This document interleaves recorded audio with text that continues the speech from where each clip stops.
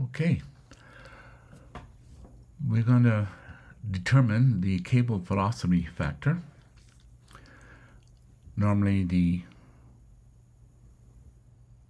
company that you or the brand that you buy the uh, the coax would uh, provide you the velocity factor. But if you don't have the information or even if all the writing and printing on the cable is wore out, you can determine it.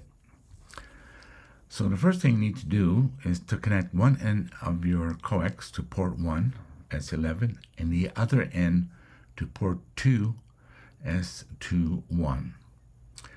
And we're going to set a frequency uh, of a start of 1 megahertz and a stop at 200 megahertz. It doesn't matter if your resolution is 101 or 401 points. It should give you the same differences. You want to set it so you can read the frequency tip from one waveform to the next.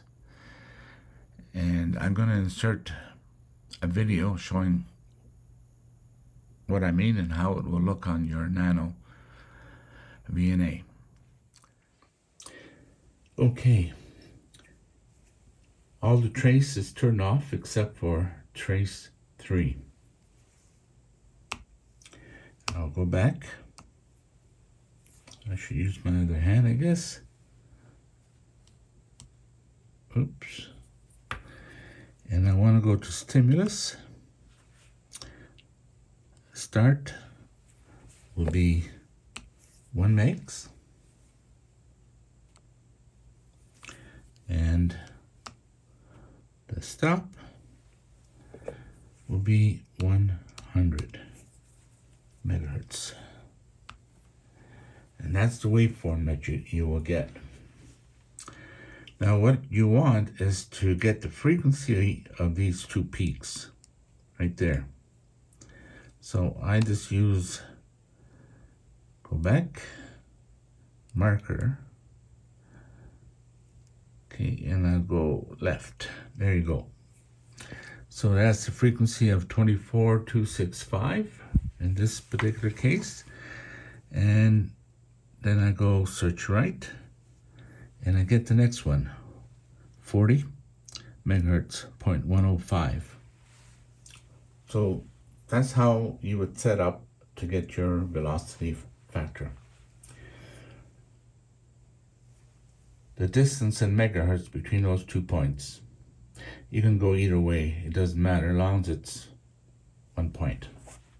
You can use the marker, the search option, you set it for maximum, and then either search left or right to get the peak of the wave separation. Now the line in green was the results of my uh, length, so I'm just going to use the 15.44 in this demonstration. All you need to know is what your length of your cable is, close enough. Okay, you go to Home menu. As you select stimulus, you enter the start of 1 megahertz and the stop of 100 megahertz, then back. Select display, then trace. You want to turn off trace 0, which is the yellow, turn off trace 1, which is the blue, trace 2, which is the green, you want off. So the only trace you're going to have is trace 3, which is the purple, then back.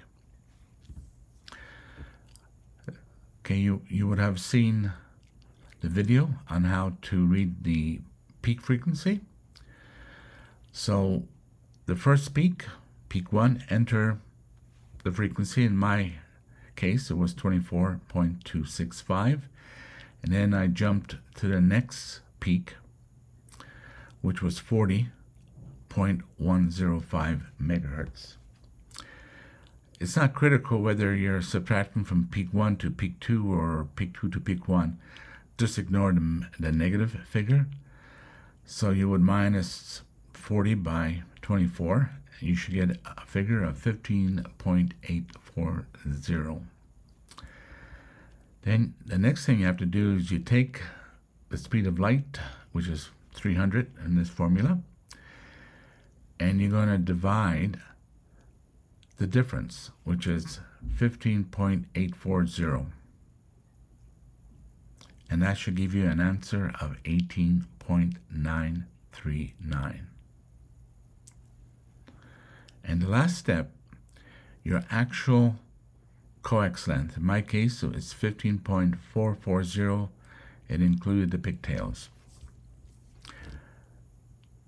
And you divide that by 18.939 and you will get 81.524.